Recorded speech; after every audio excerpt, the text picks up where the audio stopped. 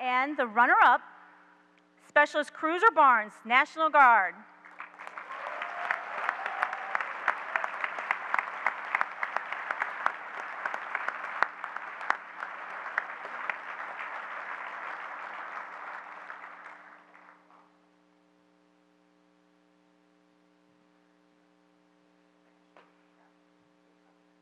He was one of the guys that stuck with the SMA on the 10 mile. Cool.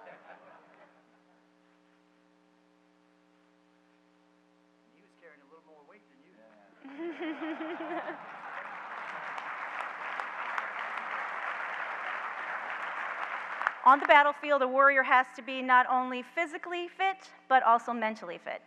This year's Best Warrior competition, Road March, put that tenet to the test. Before beginning a 12 mile road march with a 35 pound pack for soldiers and 45 for NCOs, the troops were shown several items. Their task was to be on the lookout for those items as they marched. So not only did they have to be fast, they had to be agile and alert.